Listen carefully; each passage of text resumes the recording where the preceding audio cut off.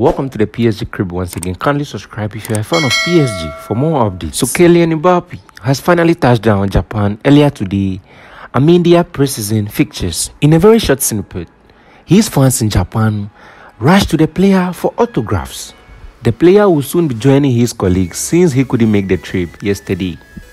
Fellow Parisians, here is the latest update from the PSG crib. Kindly subscribe if you are new here and like the video for more updates. Merci beaucoup.